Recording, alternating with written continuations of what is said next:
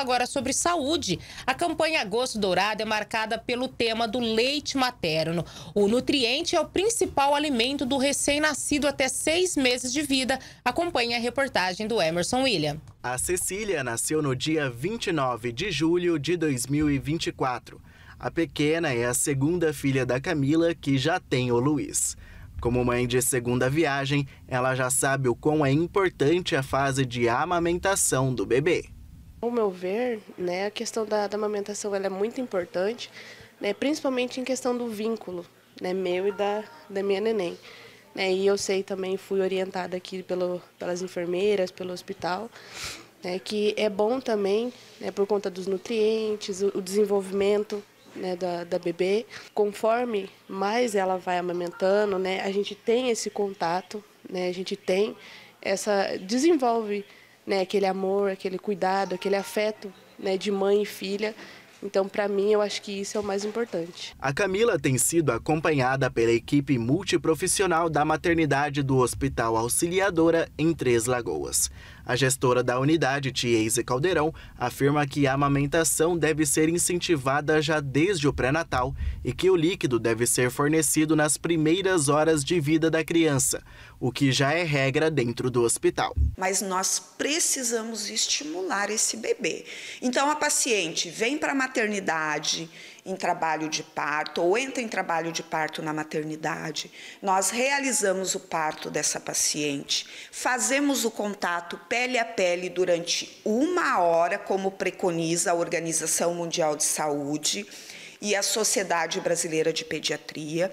E nessa uma hora de contato pele a pele, a gente já estimula esse bebê a mamar o colostro, né? Tem mães que têm colostro sempre? Isso é uma regra? Não, não é uma regra. Tem mães que não têm colostro, que já têm direto o leite materno, certo? Mas esse processo, ele é importantíssimo, sendo ele realizado na sala de parto ou sendo ele realizado no centro cirúrgico. O leite materno é rico em vitaminas e minerais, carboidratos, ferro, gorduras, hormônios, enzimas e anticorpos, e deve ser o único alimento da criança até os seis meses de vida.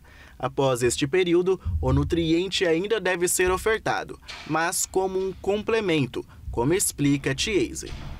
Opa, cheguei dois anos, meu filho tá forte, tá gordinho, tá saudável, nunca ficou doente.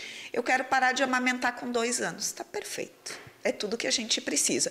Mas lembrando, viu, Emerson, que a gente precisa introduzir a alimentação para o bebê com o pediatra. Não é assim, o bebê chegou seis meses, eu vou dar caldinho de feijão para o menino, né? Ou então vou começar a dar um iogurte, papinha. Não, a gente tem que consultar um pediatra. Existem formas ideais de amamentação da criança e que todos os pais devem estar atentos para evitarem problemas. Uma posição mal colocada pode fazer com que o recém-nascido engasgue, podendo causar até a morte. O método é simples e de fácil entendimento. Então, qual que seria o jeito correto?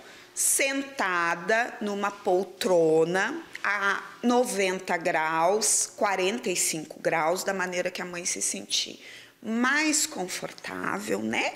Ela pega o seu bebezinho no colo, faz a gente ensina qual que é a pega correta, mamou o seu bebê, não tira o peito do bebê. Quando o bebê esvazia o peito, ele mesmo larga, certo? Não precisa tirar o peito. O bebê terminou de mamar, ele vai largar o peito da mãe, ele mesmo. Bom, o bebê terminou de mamar, a mãe coloca o bebezinho nessa posição, certo? Sentada na poltrona, não precisa levantar, e fica com seu bebê durante 20 minutinhos. O bebê vai arrotar? Tem bebê que não arrota, mas é importante que ele permaneça durante 20 minutos o Hospital Auxiliador é referência em maternidade na região leste do estado. Por mês, a instituição registra uma média de 150 a 180 nascimentos no local. Entre janeiro e julho de 2024, a maternidade do Hospital Auxiliadora já realizou 900 partos, sejam eles naturais, cirúrgicos ou de alto risco. Em certos casos de maior gravidade, a mãe não pode amamentar a criança, seja por não produzir leite ou caso ele possa oferecer risco de contaminação por doenças, como o HIV. Neste caso, a instituição adota um protocolo próprio de fórmula lactante já no início da vida da criança. Mas até dezembro deste ano, o Hospital Auxiliadora planeja inaugurar o primeiro banco de leite materno da região.